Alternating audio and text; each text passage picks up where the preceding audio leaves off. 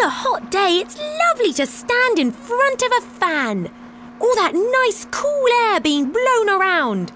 Ah, that's much better. I bet you didn't know that this fan's got something in common with some types of aircraft. Can you guess what? Propellers! The propellers on some aircraft and the blades of a fan work in a similar way. Although the propellers on planes aren't there to cool you down. If you're not sure what a propeller is, it's basically a number of blades joined together in the centre. And they're usually on the front or the wings of an aircraft. It can be hard to see them when they're spinning. They just look like a blur. So let's slow things down and take a closer look. It all starts with the engine. This plane's about to get going. The pilot is turning the ignition. Engine mixes fuel with air and burns the fuel to release energy. The heated gas moves a piston and the piston's attached to a crankshaft. If you're not sure what a crankshaft is, it's just something mechanical that spins around. The propeller is attached to the crankshaft and as the engine runs, the propeller spins faster and faster and this makes the aircraft move forward. So how does a spinning fan get this aircraft moving? It's all to do with something called thrust. Thrust is what makes things, wind moving past the blades creates pressure that pushes the plane forward.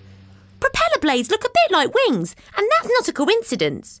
Wings use the same science to give the aircraft lift to get off the ground. Up, up, and away! Propeller blades are often a sort of twisty shape, wider at the middle than they are at the tip. The shape is very important. Think about the last time you played on a playground roundabout. If you stand in the middle, you don't go that fast. But if you're the one pushing around the edge, you really have to run, don't you? You both go around in a circle, but the one pushing has to go further and run faster. Much harder work. The centre of the propeller travels less quickly than the tips, so it has to be larger to catch more air. The cool thing about propellers is that they're a massive part of aircraft history, from the very earliest planes. The Wright brothers were famous aircraft inventors who were amongst the first to build planes that could take to the air and stay there. Whilst their planes might look quite old fashioned, the propellers they used didn't look that different to the ones you find on aircraft today. Now, they didn't have all the modern materials that we have, and they couldn't use too much metal in their aircraft. It was just too heavy. So, any idea what they made the propellers out of?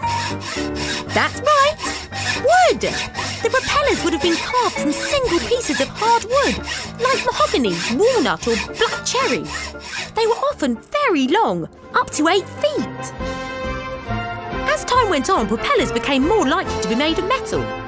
In the Second World War, all the famous aircraft had propellers, and the sound of propellers humming became as well known as the aircraft themselves.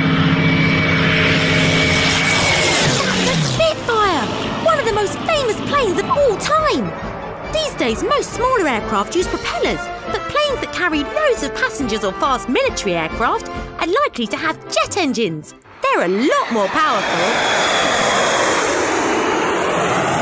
And noisy too! But propellers are so handy, you find similar things in all sorts of places. On boats, airships, and even on fans that keep you cool. Time for me to fly. See you soon, and chocks away. Aeronautical Society. Find out more about aviation at funkidslive.com forward slash aviation.